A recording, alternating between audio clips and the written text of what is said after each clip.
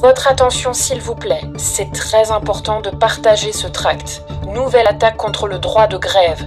Le 21 mars, une proposition de loi a été déposée par les députés de la majorité gouvernementale.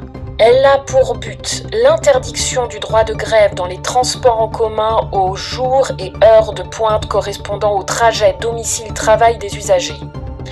Pour les transports routiers, ferroviaires, maritimes et aériens, il sera interdit de faire grève les week-ends de vacances et les ponts autour d'un jour férié.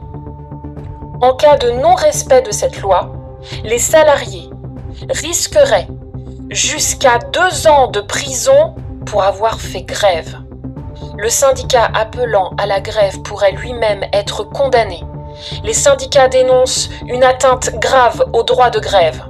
Avec le passage en force du 49.3 de la réforme des retraites, ceci démontre l'importance du droit de grève comme contre-pouvoir et l'importance du blocage économique seul capable de faire plier un gouvernement qui impose une réforme contestée par tous les travailleurs.